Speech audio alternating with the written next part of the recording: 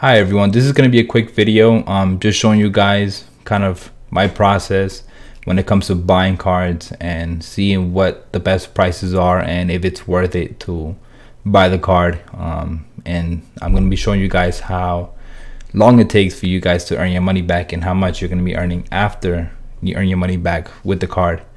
So just stick through the video and um, hopefully you guys learn something from this. So the first website I would recommend to go take a look at would be um, StockX. This is just, it's not the best example, but this is a place where you can actually get a card. It is over retail, but let's say I, I search for RTX 3080, right? Uh, let's click one of these. Let's click a regular 3080. Um, yeah, this is a regular 3080. There are the LHR models, which are light hash rate. They have been limited. Um, there are ways around it, but it's it's still kind of it's not as stable, at least in my opinion. So let's just use this for an example. A regular 3080. Let's say you go to buy it. You spend $2,100, right? Let's copy that. You go to the second website, which is whattomine.com. I will link this in the description. Um, you look for 3080. This is 3080 here. Don't confuse this with L. L is for the lit, uh, light hash rate that I said earlier.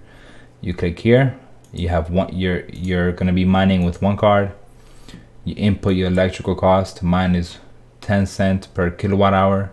Where I'm from, it may be different. It may be more, maybe less. Where you're from, you can check your electric bill. That's gonna tell you what this uh, what your cost per kilowatt hour is. So let's take calculate.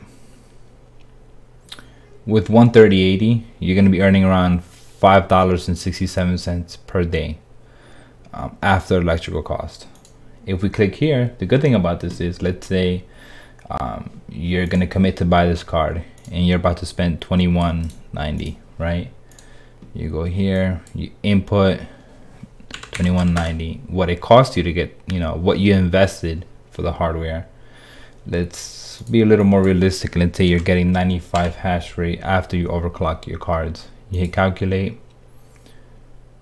At this price you're gonna earn your money back at a little over a year almost a almost 13 months.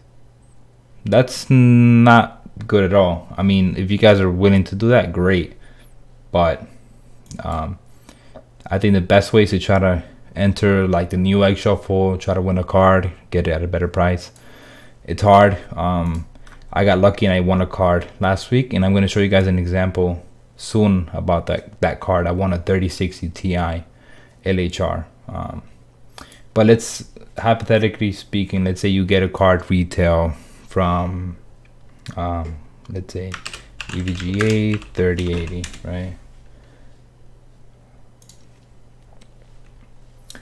Let's say if you were to buy one for 900 bucks.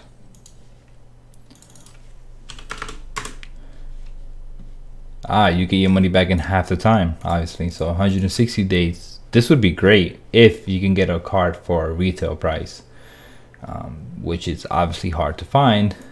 These were not this expensive. They have gotten more expensive because of the whole um, chip shortage. So it, it, it's complicated for everyone it's not just the miners that are causing that there are other things causing it. That's probably a whole nother video talking about that. But for now let's focus on how to decide on what card to get um, or the tools you can use to kind of calculate what you're going to earn and how long you're to earn your money back. If we go here let's say you go you enter the Newegg shuffle you win and you and you buy a card. For example i have this open already.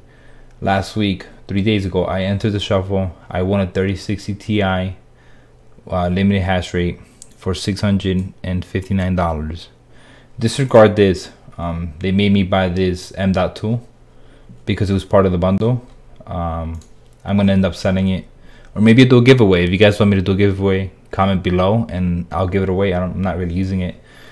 Uh, but for now, let's say, let's say you spent 600 and $80 on the card by winning, you know, the Newegg shuffle.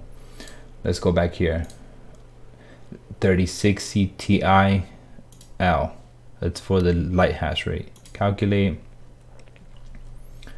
that's what you're earning with Ethereum. Obviously, there are other coins, um, but since we're talking about Ethereum for now, let's just click on Ethereum. And like I said, we spent let's say we spent six hundred eighty dollars on the card. Let's say you overclock it to forty five mega hash. I've seen some people do it to that uh, to that much. Hit calculate. You get your money back in 259 days. It's not the best.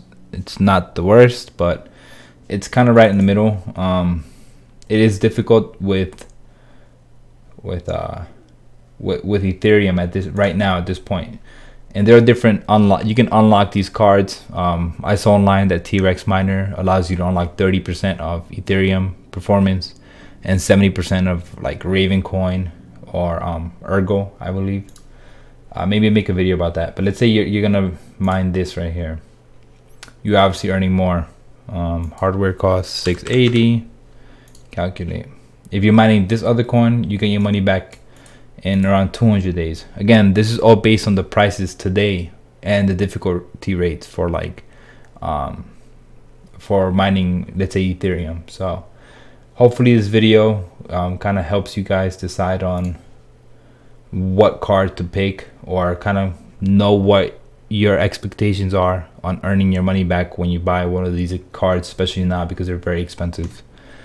Um, if you guys have any questions, just drop a comment um, share this video, hit the like button, and um, and drop a comment below if you guys really want me to give away that M.2. It's a two terabyte M.2. Ah, yes, it is. It's actually right here. Haven't opened it. It's just sitting here. I don't. I don't really need it. This is a 3060. I think it's a Ventus. Ventus 3X. My comment on the new cards, they feel cheap it's all plastic, like really cheap plastic. Um, you can't really compare it to like the Suprim, but it, the quality of the cars has dropped, and that's just my opinion. So, um, but yeah, thank you guys for watching.